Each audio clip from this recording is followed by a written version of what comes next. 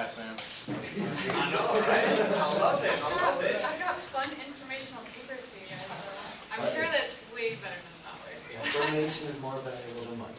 Bam. That's just to agree with the enemy.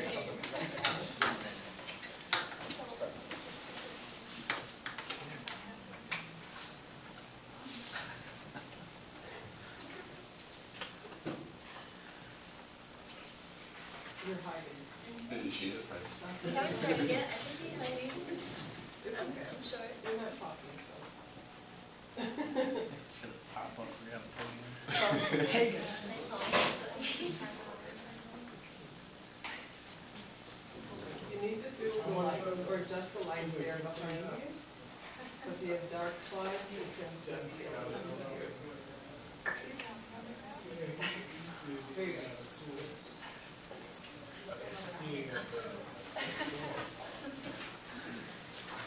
All right, well, thank you so much for having us. Before I begin, I'd just like to thank you for your time. You're all beautiful people, and I love you all. Here to have a great summer. Um, we're doing our, our topic on sex trafficking. So a lot has, has risen up on sex trafficking recently. If you look around the room, I see, I count 10 men. Now, statistically speaking, moderate estimates of um, amount of men that will pay for prostitution is 15 to 20 percent. So if we look around and we'll see, um, to your right, to your left, if you see other men, you think about four men will at one point in their life pay for sex. So what does paying for sex have to do with prostitution? Well, up here we see alluring slides. Isn't she beautiful? She's an underage French prostitute that had sex with two soccer players. Guess what? They're under, they're under prosecution now. Um, we have ads that pop up for pornography. Pornography is heavily tied in the sex trafficking industry. Um, we have a prostitute, a hooker, as you would say, um, pornography as well, and then another ad. This ad was found on backpages.com. So you can actually go and you can purchase to have a, a woman for an amount of hours or a night. With your own money, you can purchase a woman. Um, I have a few quotes from uh, men who have, buy, who have bought sex. Being with a prostitute is like having a cup of coffee. When you're done, you throw it out. I paid for this. You have no rights. You're with me now. She gives her right, he, she gives up the right to say no. So the reality of prostitution is something a little bit more like this. These pictures are taken from girls who were rescued out of prostitution in the top, out of, um, out of the Philippines. Um, a girl in the U.S., a prostitute. These aren't only prostitutes, but they're sex traffic victims. I have a narrative of a story um, written by a girl named Aisha. She says, to break me in, I was raped several times a night for nearly a month before the madam started selling me to men for money. It was typical for me to have 10 to 12 buyers every night. When people tell me that women choose this life, I can't help but laugh. Do they know how many times women like me have tried to escape but have been beaten black and blue when they are caught? The men who buy us, we are like meat. To everyone else in society, we do not exist. So the problem with sex trafficking we find is that a lot of people don't even realize it's happening. What is sex trafficking? It looks a little something like this. The definition of sex trafficking from Shared Hope International defines it as the recruitment, harboring, transportation, provision, or obtaining of a person for the purpose of commercial sex act. Such an act is induced by force, by fraud, by coercion, or in which the person is induced to perform such acts and they're under 18 years old, so they're under, under 18 years old, so they're a minor. These are the definitions of sex trafficking. Now I'm going to give it over to the beautiful Heather, and she'll continue on. Thank you so much. Thanks. Okay. Eighty-nine percent of eight hundred and fifty-four people in prostitution from nine countries said they wanted to escape from prostitution. Seventy-five percent needed a home or a safe place. Seventy-six percent needed job training. Sixty-one percent needed health care. Fifty-six percent needed individual counseling. Fifty-one percent needed peer support. Fifty-one percent needed legal assistance. And forty-one percent needed drug or alcohol treatment. This is a big problem. Paid sex and porn, like Josh said, um, contributes to having women being beaten from sex trafficking. It's not just they went into this. Um, Backpages.com, it's basically like Craigslist that you can type in and go to escorts. And I did it at Mott, and I found women that could buy tonight, which I wouldn't be saying, you could. Um, Kidnapping, rape, addiction to drugs, disease, and death are all parts of sex trafficking. Economic profiting gains and power structures are formed by sex trafficking. There's a lot of money in this for the pimps, but it's a lot of negativity. There's psychological and physical problems. From Anti-Human Trafficking Manual for Criminal Justice Practitioners, the United Nations Office on Drug, Drugs and Crime stated, the effect of trauma on the health of victims include physical and mental health, fatigue, weight loss, neurological symptoms, and gastrointestinal problems, tiredness, depression, anxiety, hostility, and PTSD. And this is close to home. People think, oh, this happens maybe in Miami where there's so many people, oh, this happens, you know, in different countries. This happens right here in Flint. Um, students were talking about trafficking, stated WEC Executive Director Rashika Patel. They thought it was something that happened out there. This is from the Michigan Times. Uh, article that's written right here in Flint. Um, children are especially at risk. Forty percent of human trafficking cases involve sexual exploitation of a child. That's from Michigan Gov. So we need to protect our children and we need to protect ourselves. And it's not just for women, men. Don't participate in watching porn. I know that could be hard. I know not do, but I know guys, and you guys have needs, but try to like think about what you're doing. Is the woman that you're watching on your television forced to do it for your pleasure? You guys gotta think about that. So this is a major problem. Now Sam will tell you how to fix it. So, you're all thinking, how do we satisfy this problem? Well, did you even know it was a real issue until we talked about it today? If you didn't, well, I can just give you some ideas of how to fix it. Well, create awareness, because there's other people like you that didn't really know it was an issue before today. So there, you know, you can create awareness by educating colleges, schools, you know, police, other things like that, and people in the medical field in case, you know, victims that come to the hospital and things like that. Um, and by doing that, you can create more, you know, more awareness clubs, and it's easy, you can do it on social media, I mean, you're already there. If you have a Facebook, you're already there. You know, why not just click those few extra buttons, but, um, and then you can create one at work, you know, get a little group, get your posse going, come up with an idea of how to create more awareness. Um, a suggestion for that though is you might wanna ask, you know, your boss or like the website administrator, because a lot of people aren't really into that, so you might get permission. Um, an idea that we came up with is, you know, we're learning about sex education at such a young age, so we were suggesting that maybe you could get teachers to incorporate the dangers of sex trafficking into the sexual education curriculum, and then, you know, while they're learning about sex, let them know what's, you know, what's out there, what to, you know, what they're doing with it, instead of, like she said, just watching porn or buying people, like they're doing, you know, that's an actual crime all these other things. Um, get with a local paper, offer up an idea about how, maybe create an article, look up, you know, statistics, or like she was saying, back pages, you can just, numerous people right here in Flint that are willing to sell themselves. Get with your local papers, try to come up with an article, like I was saying, and get people to know in your community that this is an issue and it's growing. Um, another way you could do it is you could support nonprofit organizations.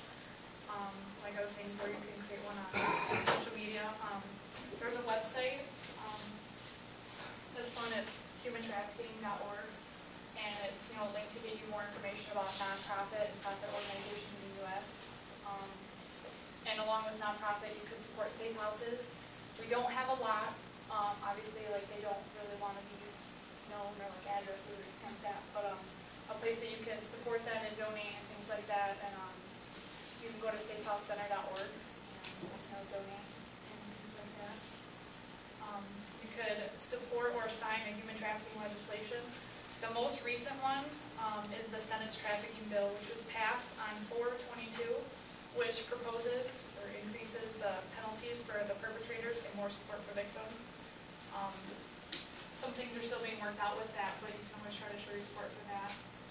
Um, And there was, and as I said before, you could create more awareness, and there was a woman that spoke here, her name is Theresa Flores, she was a sex trafficking survivor, and she's now a famous speaker for, you know, she speaks out for um, victims and things like that, and tries to get more people to come out and change their lives. Um, She suggests that, you know, along with creating awareness, you know, look for things like if somebody's lying about their age, if they have a false ID, um, if they have tattoos, there's some places on a girl's body or, you know, who, the victim's body that, um, there's a certain tattoo like on the thigh or something like that with, doesn't really look like it should be a tattoo, it's branding. Their, you know, their pin is branding them. Um, so you always try to notice that too. Um, if they're dating somebody much older, I don't know, I mean, that's kind of a shady area. You know, lots of people date older people, but still, if it looks weird, let's be honest. Um, If there's suspicious bruising or injury, if they have large amounts of cash or a suspicious amount of new jewelry or clothing. So just some things to look for and let other people know that those are things to look for too. And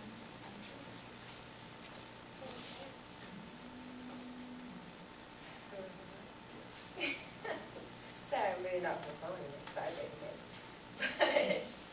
Um, so.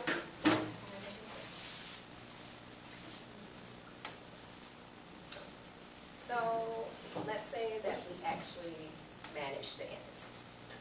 How can things get better? You can imagine how they can get better. But how can they possibly get worse? They will get worse for the traffickers, that is, their pockets, really, that is. Um, sex trafficking is actually the biggest crime trade in the world, second only to gun trade. So you can imagine just how much stimulation that is for the economy. But I would rather lose a little stimulation in the economy because the negatives definitely don't outweigh the positives. Um, if we end this, these girls will get their livelihoods back. They will be safe. They will live normal lives. They will live life like you and I do. We don't worry about, you know, if we don't do something, what could happen to us or who's coming into our room next. Like, that's not something that we have to worry about. Um, I did put together a, not that short, but a video, um, so that I could show you guys a little insights of what it is of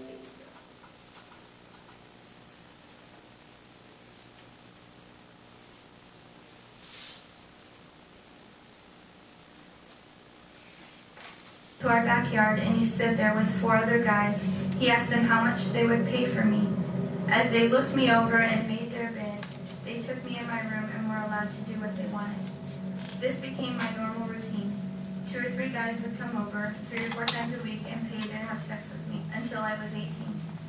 Many guys would bring knives, guns, cameras, ropes to ensure I was going to stay silent.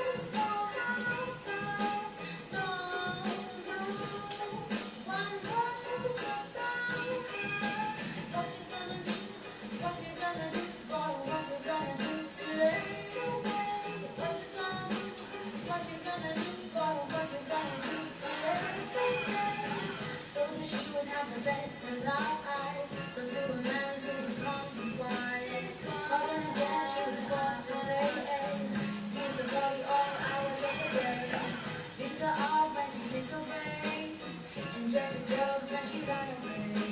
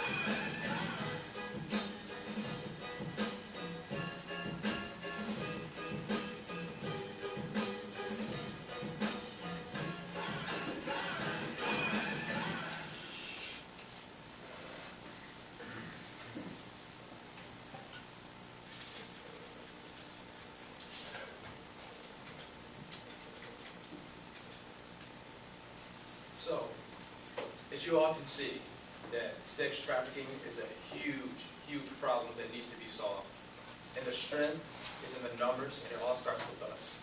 Let us not forget that we were the generation that brought the first black president into the White Office. Let us not forget that we are the generation that brought so, um, social media to a huge platform, Facebook, Twitter, and Instagram. And we can be the generation that ends sex trafficking. It all starts with us. Now, what I want all of you guys to do is to take out your phones right now, and you guys are going to program this phone number into your phone.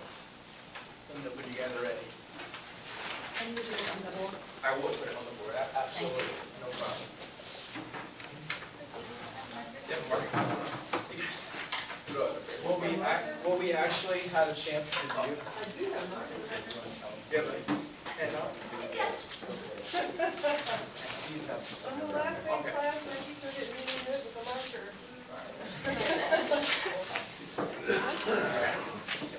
All right, so Josh and Sam are passing out flyers, and the, the phone number is on there as well, and Heather is writing it on the board, and I'll say the phone number. The number is one eight eight eight three seven three seven eight eight. Now, as we go on with our daily lives and everything, if you guys see, if you guys see anything suspicious that could be going on, or you think that would relate to sex trafficking, you could call that number 24/7, 365, and just be like, hey, I just saw something suspicious. Um, you can sign legislation and petitions, and the goal is to just get involved, involved, involved, and become a voice for this.